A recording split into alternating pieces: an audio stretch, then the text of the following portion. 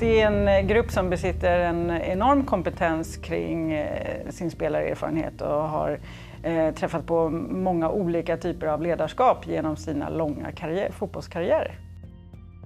Jag tror att de alla blev väldigt förvånade och chockade över vilken insats fotbollstränare gör där ute. Ja, men när vi kom hit i måndag så hade vi vår praktik och då skulle vi ta hand om ett, ett gäng småkids som sprang lite överallt. Och, eh, där fick man den största respekten för alla ledare som jobbar ideellt med ungdomsfotboll. Jag tror inte alls de var beredda på att det krävdes så mycket som fotbollstränare för att få fokus från flera barn samtidigt och att samtidigt få ut ett syfte och en övning och en organisation. Det handlar mycket om att hantera människor, en grupp oavsett ålder.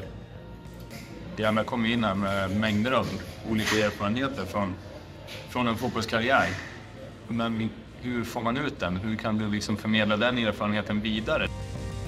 De kan bidra på eh, många olika sätt att driva svensk fotboll framåt. När vi är klara här, okej bra, då får vi diplom. Men jag, jag vill liksom lära mig ännu mer.